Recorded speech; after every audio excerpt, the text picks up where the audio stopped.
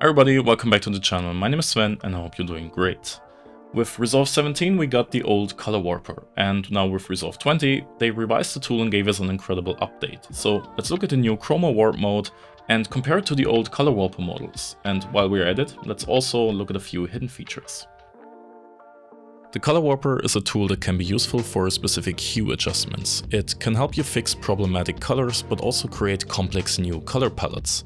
The old models that we had with Resolve 17, however, introduced a bunch of problems that we should talk about. Before we begin, we have to understand how it operates behind the scenes. It is one of the tools in Resolve that is always color space aware, so if you want to know what that means, check out the video linked above or in the video description. In short, the tool operates in its internal tool color space, which we can select down here. And in order to work properly, it has to know the timeline color space. So in our project settings, we have to make sure this is tagged correctly. We can see here how it creates a different result in the timeline that is tagged in Rec 709 Scene and one that is in DaVinci Wide Gamut Intermediate. Now the tool by default works in HSP, which is similar to HSV and HSL, however it claims to give you a more perceptually uniform representation of the colors. We can select the other models here too, but HSP seems to work the best in most cases. With the spiderweb overlay we can now move colors based on points on the grid. And you can go quite extreme with this right away. For example, you could move this red point all the way over to the blue area, which obviously doesn't look good, but that's possible. And when we look at this on a test pattern, we can also see another problem. Besides not looking aesthetic, it also heavily breaks the image even with the slightest adjustments. It is mostly due to the conversions from our timeline color space, which is a log encoded color space like DaVinci Intermediate here, to the tool color space and back at the end. If our timeline was in a display color space such as Rec 709 scene, the conversions wouldn't have such a drastic effect. Does that mean we should tag the timeline as Rec 709 scene?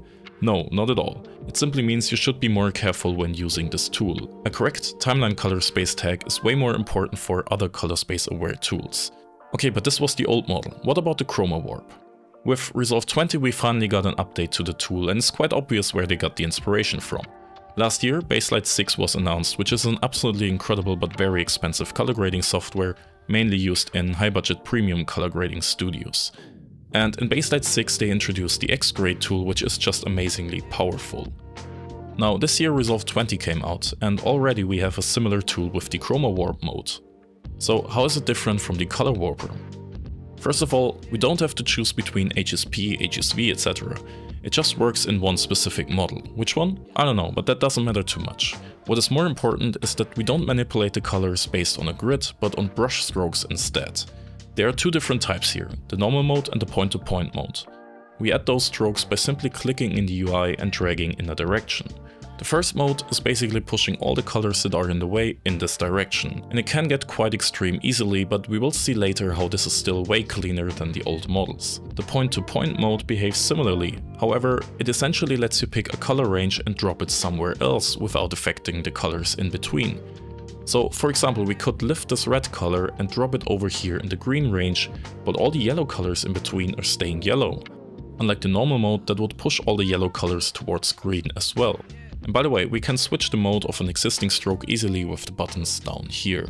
A third type is the pinpoint that lets us define ranges that should not at all be affected. We can for example place such a point in the center of the UI to fix our neutrals, so everything with low to no saturation, or we could put one on our skin tones. And by the way, we can also create all of these points in the viewer as well. Simply click on the color you want to select and drag it wherever you want. Besides the graph, we also see a few sliders that let us adjust the ranges. The chroma range is especially important as it broadens or narrows the selected stroke. So a bigger range of course affects more colors and smoothens out the transitions. And another slider here is incredibly useful, the exposure slider. It allows us to brighten or darken a selected range, and if we hover over a stroke in the UI, we can actually modify both of these parameters. Scrolling the mouse wheel affects the chroma range, and holding Ctrl or Command and scrolling affects the exposure. So this makes using the tool much more convenient than going over to the sliders. We can also hold Alt or Option while clicking to preview the range we are selecting, and this one works in the viewer as well.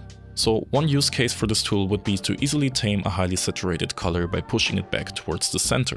Another idea would be to create a custom color palette, and I find it to be much more helpful having multiple points with very big chroma ranges and only slight adjustments than going the other way around. Another trick I found is to simply click in the UI without drawing a stroke in a direction. Now you can define the chroma range and only modify the exposure. So you could place the stroke at a highly saturated color and lower the exposure to get some sort of color density. Create multiple of these points and you can drastically change the image's contrast based on the selected hues. So we saw in some of the examples how the transitions between the colors are already way smoother than with the old models. And to prove a point, let's just look at the test patterns from my generator DCTL again. And by the way, you can get this one for free or pay what you want on my website and the link is in the video description.